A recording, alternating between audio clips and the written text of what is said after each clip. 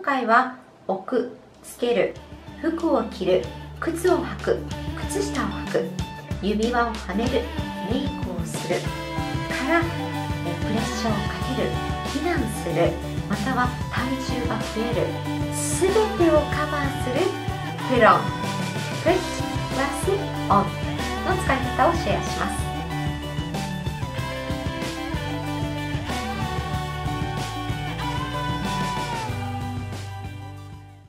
Put は move のイメージ。何かをある場所から別の場所に動かす。on は接着剤。何かに接している。何かに密着している。感覚です。同じ感覚でハイキングの準備をするときにも使うのが put on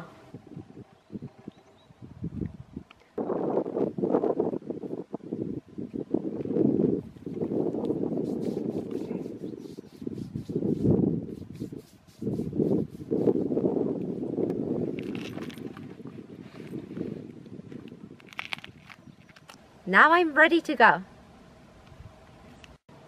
Put on the sunglasses でサングラスをかける。もともとは Put the sunglasses on me とか on myself でえ on myself の myself 自分自身にサングラスをかけるっていうのは当たり前のことなので会話では myself を除いて put on the sunglasses とか put the sunglasses on でサングラスをかけるという意味です。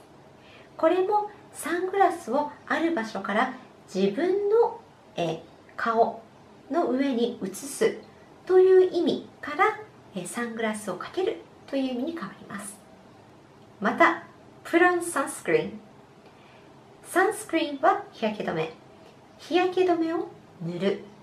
ここでも同じように put sunscreen on myself 自分自身に、えサンスクリーンをつけるという意味なんですが myself 当たり前のことですよね。なので put on sunscreen でサンスクリーンを塗るという意味です。put on the hat 帽子をかぶる。ここも同じように帽子を自分の頭の上に乗せる。そこから帽子をかぶるという意味に変わります。最後に put on the backpack バックパックを背負うなんですがもともとは自分の背中に乗せるっていう意味からえ背負うという意味に変わります。Put on the backpack. Oh no I put on some weight. Weight が重さ体重。つまり体重が増えた。自分にいくらかの重さが加わった。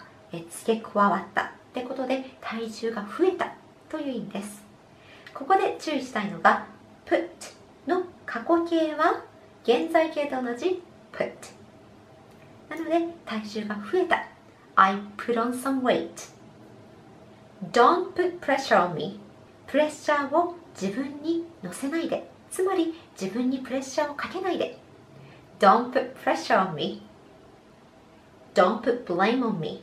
自分に責任を押し付けないでとか責任をなすりつけないでという意味です。いかがでしたか？プラン。それぞれの単語が持つ感覚イメージをつかむと会話の中で出てくるいろんな表現のプランが自然と、え理解できると思います。私も毎日使うプラン。皆さんもぜひ使ってください。来週はプランの反対の表現これも単語が持つそれぞれのイメージ感覚をつかむと日本語で訳さずにスッと会話の中で、えー、表現を理解して相手の言ってることがわかるまたは自分が言いたいことがさっと出てくるようになりますそれではまた来週 Thank you for watching. See you next time. Bye!